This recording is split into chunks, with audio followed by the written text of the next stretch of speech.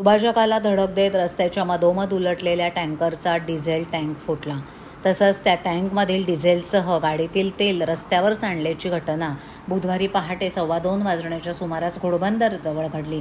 या घटनेत सुमारे तीन तासांसाठी घोडबंदर रोड रोखून धरला होता. तसंच उलटलेल्या टँकरमध्ये दहा टन केमिकल होतं. चालकाचा टँकरवरील ताबा सुटल्यानं हा अपघात झाला असून सुदैवानं या घटनेत कोणालाही दुखापत झाली नसल्याची माहिती दिली.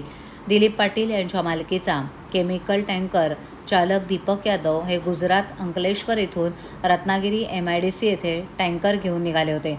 मुंबई गुजरात महामार्गावरील घोडबंदर रोडनं ठाण्याच्या दिशेनं जाताना पातलीपाडा ब्रिजजवळ आल्यावर चालक यादव यांचं त्या टँकरवरील ताबा सुटला. आणि रस्त्यावरील दुभाजकावर आदळून रस्त्याच्या मधोमध उलटला.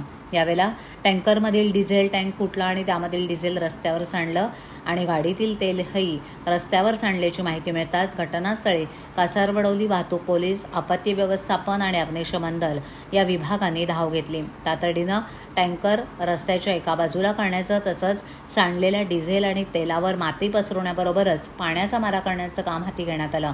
दोन हायड्रा क्रेनच्या सहाय्याने तो टँकर उचलून बाजूला करण्यात आला तर टँकरला साधारणपणे तीन तासांच्या प्रयत्नानं रस्त्याच्या एका बाजूला करण्यात यश आलं.